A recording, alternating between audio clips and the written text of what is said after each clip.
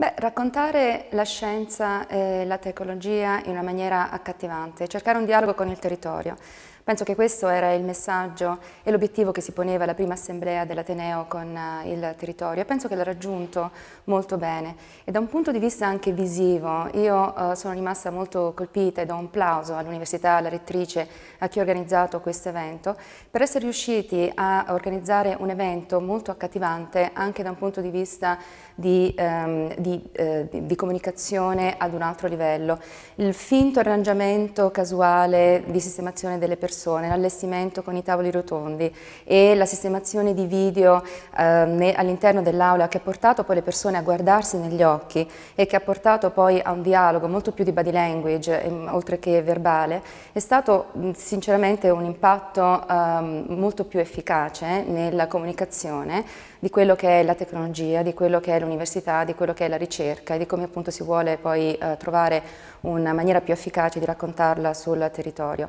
Il racconto della tecnologia e come comunicare la tecnologia è una sfida, è la sfida che hanno tutti i tecnologi e chi si occupa di ricerca, è la sfida che ha anche il Trentino Sviluppo in quanto interfaccia con il mondo del territorio, una sfida che c'è da sempre ed è una sfida che è percepita più che altro come un gap tra il mondo, chiamiamolo, della ricerca e chiamiamolo il resto. In realtà è un problema solo percepito perché è un problema di linguaggio, di comunicazione e soprattutto un problema di cultura. Ecco, cambiare la cultura è una cosa che è molto difficile, si fa in molti modi, si fa con molti linguaggi, come il linguaggio appunto scelto anche in questo caso eh, dall'università, un linguaggio innovativo. Come Trentino Sviluppo, come guida dell'innovazione non posso che supportare, eh, fare plauso e soprattutto essere chiaramente sponsor e, in tutti i modi eh, di supporto alla, eh, al continuamento di, questa, di, questa, di questo dialogo. Ci credo talmente nella comunicazione tecnologica e arrivare a una comunicazione tecnologica in molti livelli che all'interno della, della, struttura stessa